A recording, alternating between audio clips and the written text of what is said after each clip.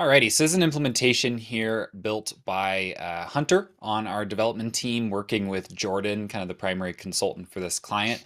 Um, and this is essentially a way to do some brand coloring natively via Zoho Creator in a client portal. So we've been finding more and more use cases over time where we're helping our clients build portals to interact with their client base via Zoho Creator. So maybe you are a, you know, someone who sells through distributors and you want your distributors to have a login to submit orders or submit uh, cases or issues, you know, all those different various things that you're looking to get out of an email inbox.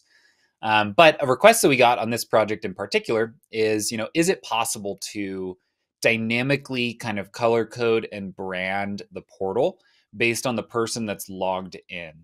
And uh, what Jordan and Hunter are able to do is, is basically answer yes to that question. And so we basically added a place within uh, the application to track the hex codes of primary, secondary, and font colors for their particular clients.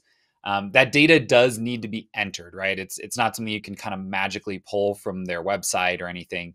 So if this is important, it just needs to be part of like your client or vendor onboarding process, essentially grabbing these values. Um, and then within Creator, a lot of what we're doing when we're kind of creating the UI is building custom pages for people to look at that contain reports, forms, buttons, all different types of things.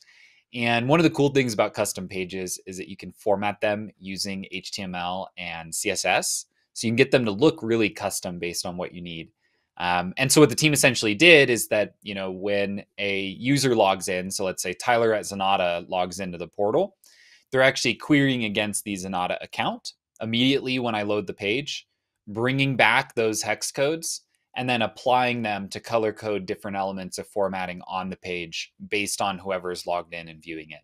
So really, really slick. I mean, obviously, this isn't something that really defines functionality. You know, it's not one of those implementations where we're doing crazy math or we're calculating commissions or sending documents, but it's one of those little kind of personalization touches um, that the client really loves to have and present to their clients via the portal.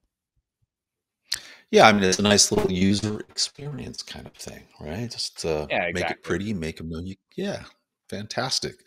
Nice job, Hunter and Jordan.